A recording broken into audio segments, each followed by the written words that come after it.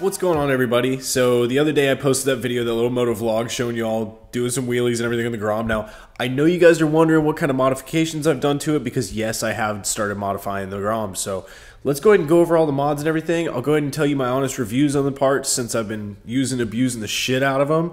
And uh, yeah, so this is just kind of to inform you guys, like if y'all are looking for parts and everything, what's on the market that I I am using currently that half the people that I ride with are using currently and what I think of it. So let's go ahead and get to it. As you can tell, the Grom looks a whole lot different from, from when you guys saw it last. Like the last time you saw it, it was pretty much all stock except we did a fender eliminator kit and that was pretty much it. So this is how it looks now. I think it looks a whole shitload better. Like I am super happy with how it looks except for the red. We got to change the color. But that's okay. We're going to get to that. All right, guys, let's go ahead and get to the parts I've actually put on the bike, and then down in the down in the description, I'm gonna go and link everything. So if you guys are trying to buy any of these parts that are available, like through eBay or wherever I ordered them from, I'll go and link those down below. And then also, i will go ahead and like tag the people that built some of the certain things that are on it as well, because you're not gonna find them on eBay or any of that stuff. So, all right, let's go ahead and jump into it, guys. So first, I got rid of that ugly ass big fat exhaust that sat up underneath there. Just hideous, absolutely hideous. I ordered this AOD only racing exhaust and it sounds really nice. It's got this real nice deep tone to it. It's nothing too wild, it's not that loud. Like I was afraid it was going to show up and I was going to be like, "Oh my god, I can't even like fucking hear myself think." No, it's actually like perfect. It's not that bad. I throw my headphones on, you can definitely hear it a little bit, but it's got like a nice grunt to it like almost take like a 250 dirt bike, like a four stroke dirt bike, and take away just a little bit from it. That's pretty much what it sounds like. So go ahead and order one of those if y'all are looking for a cheap exhaust. I think I paid like 110 bucks for it, and it took them like maybe a week to get here. All right, so next thing right here, since we're already down below, this is our rear handbrake setup. Now, obviously, this is not something that I ordered. This is something that a buddy of mine, Chris, made for me locally. And I will go ahead and link him down in the description. But it's perfect for when you're doing wheelies and everything. Hi, Rio. You are just so excited. He wanted to be in the video, don't you? Okay. Anyways, guys.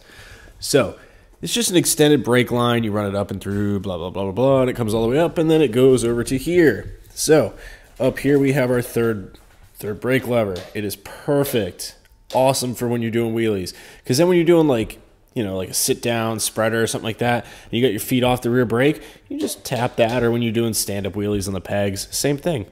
Speaking of the pegs, same guy made me all this. So he made my 12 bar setup and my rear peg setup.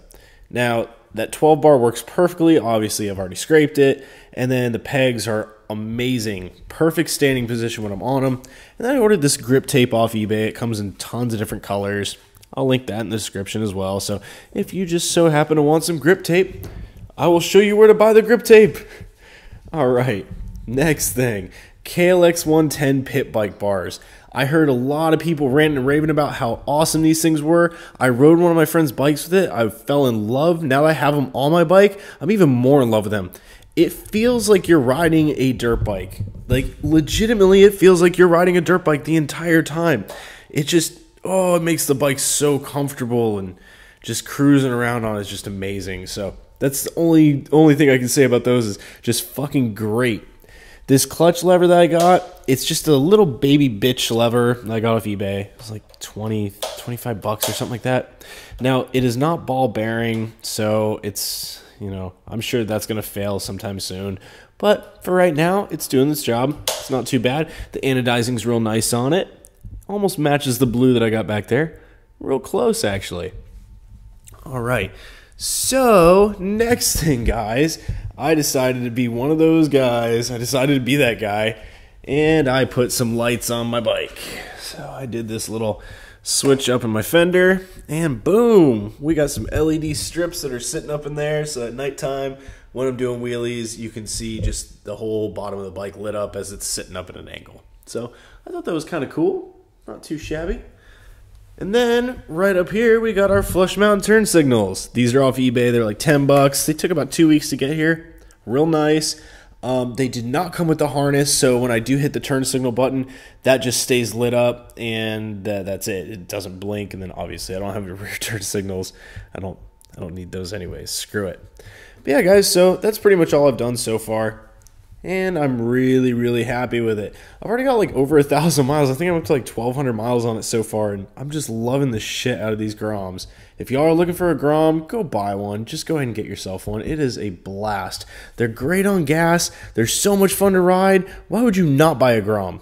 All right, guys, I'm going to go ahead and end this vlog on that. If you guys could, go ahead and like and subscribe down below, and I'll see you guys in the next episode. Maybe the next one will be a moto vlog. Maybe it'll be something else. Maybe it could be something to do with all these GoPed parts I have sitting over here.